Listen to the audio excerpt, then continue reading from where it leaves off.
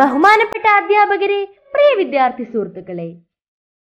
September പതിനാറിനാണ് ലോക ozone ദിനമായി നമ്മൾ ആചരിക്കുന്നത്. ആയിരത്തി തൊള്ളായിരത്തി എൺപത്തെട്ട് ഐക്യരാഷ്ട്രസഭയുടെ ജനറൽ അസംബ്ലി യോഗത്തിലാണ് ഓസോൺ പാളി സംരക്ഷണ ദിനമായി പ്രഖ്യാപിച്ചത്. പാളിയുടെ സംരക്ഷണത്തിനായി ആയിരത്തി തൊള്ളായിരത്തി എൺപത്തിയേഴ് സെപ്റ്റംബർ പതിനാറിന് മോൺട്രിയോളിൽ ഉടമ്പടി ഒപ്പുവെച്ചു.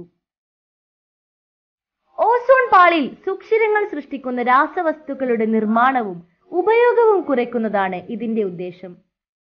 മനുഷ്യൻ കൃത്രിമമായി നിർമ്മിക്കുന്ന രാസവസ്തുക്കളാണ് ഓസോൺ പാളി നശിപ്പിക്കുന്നത്. എന്താണ് ഓസോൺ പാളി? സൂര്യനിൽ നിന്നുമാണ് ഏറ്റവും അധികം ഊർജം നമുക്ക് ലഭിക്കുന്നത്. ഇങ്ങനെ സൂര്യനിൽ നിന്നെത്തുന്ന രശ്മികളാണ് ഭൂമിയിൽ ജീവൻ നിലനിർത്തുന്നതെങ്കിലും ചില രശ്മികൾ ജീവന് ഭീഷണിയാണ്. പ്രധാനപ്പെട്ടതാണ് അൾട്രാവയലറ്റ് രശ്മികൾ. മനുഷ്യനിൽ അന്ധതയും അർബുദവും ഉണ്ടാക്കുന്നത് കൂടാതെ സസ്യങ്ങൾക്കും വിളകൾക്കും സൂക്ഷ്മജീവികൾക്കും ഭീഷണിയാണ്. അതിനാൽ ഈ രശ്മികൾ നേരിട്ട് ഭൂമിയിലെത്താതെ കാക്കേണ്ടത് ഇവിടെ ജീവന്റെ സന്തുലനം നിലനിർത്താൻ അത്യാവശ്യമാണ്. ഈ രശ്മികൾ ഭൂമിയിലെത്താതെ തടഞ്ഞു നിർത്തുന്നത് ഭൗമാന്തരീക്ഷത്തിലെ മേൽത്തട്ടിലുള്ള ഓസോൺ പാളിയാണ്. അക്ഷരാർത്ഥത്തിൽ ഭൂമിയിലെ ജീവൻ കാക്കുന്ന സംരക്ഷണ കുടയാണ് ഓസോൺ പാളി. ഈ സംരക്ഷണ കവചത്തിന് കനം കുറയുന്നുവെന്ന് ശാസ്ത്രലോകം പറയുന്നു.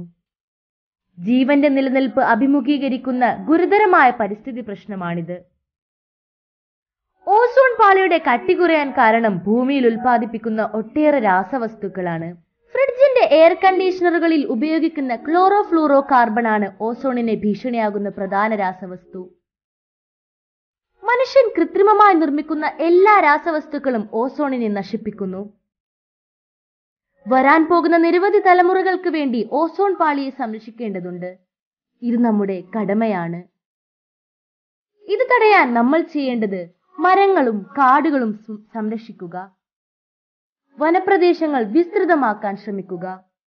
ഒരു മരം വെട്ടുമ്പോൾ രണ്ടു മരങ്ങൾ നടാൻ ശ്രമിക്കുക. ഇതുവഴി ആഗോള പാരിസ്ഥിതിക സന്തുലനവും കാലാവസ്ഥാ സുസ്ഥിരതയും ഉറപ്പാക്കുകയും ചെയ്യും. കാർബൺ ന്യൂട്രാലിറ്റി കൈവരിക്കുക വഴി ഓസോൺ വിള്ളലിന് കാരണമാവുകയും ആഗോളതാപനം ഉണ്ടാവുകയും ചെയ്യുന്ന ഗ്രീൻ ഹൗസ് വാതകങ്ങൾ പരമാവധി കുറയ്ക്കാനുള്ള ശേഷി കൈവരിക്കുകയുമാണ് ചെയ്യേണ്ടത്. നമ്മുടെ നാടിനെയും ഈ ലോകത്തെയും സംരക്ഷിക്കേണ്ടത് നമ്മുടെ കടമയാണ്. അതിനുവേണ്ടി നമ്മൾ എല്ലാവരും ആത്മാർത്ഥമായി ശ്രമിക്കണമെന്ന് ഞാൻ ഈ ദിനത്തിൽ നിങ്ങളോട് അഭ്യർത്ഥിക്കുന്നു. ഇത്രയും പറഞ്ഞുകൊണ്ട് ഞാൻ എന്റെ വാക്കുകൾ ചുരുക്കുന്നു. നന്ദി.